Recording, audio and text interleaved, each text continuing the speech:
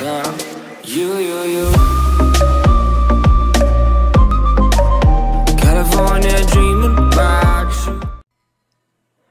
Guten Tag Leute und willkommen zu diesem neuen Video.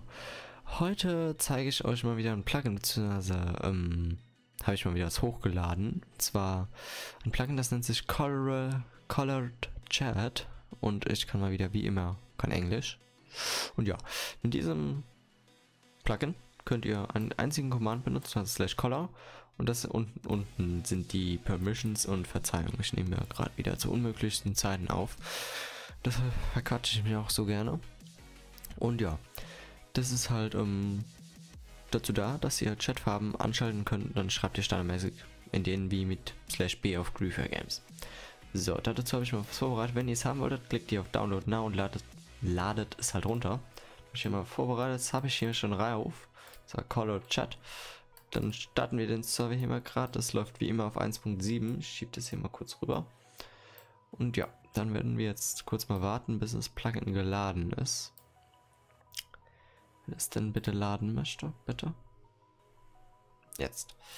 Sorry, mein PC ist gerade nicht der schnellste und dann noch mit der Aufnahme, da passt es alles nicht so genau. Und ja, warten wir und da Color Plugin geladen. Dann nimmt man da slash Color. Dann habt ihr hier so ein schönes Menü.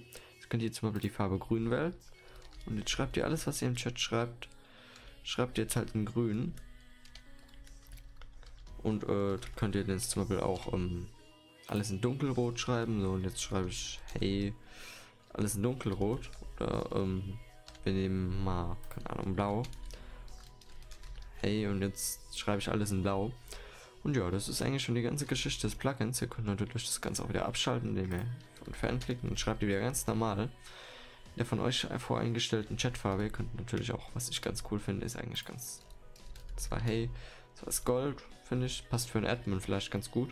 Und ja, also das ist schon das ganze Plugin. Keine große Kunst.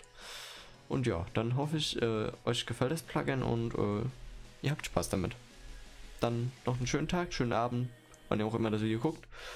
Und äh, Downloading ist unten in der Videobeschreibung. Und ciao!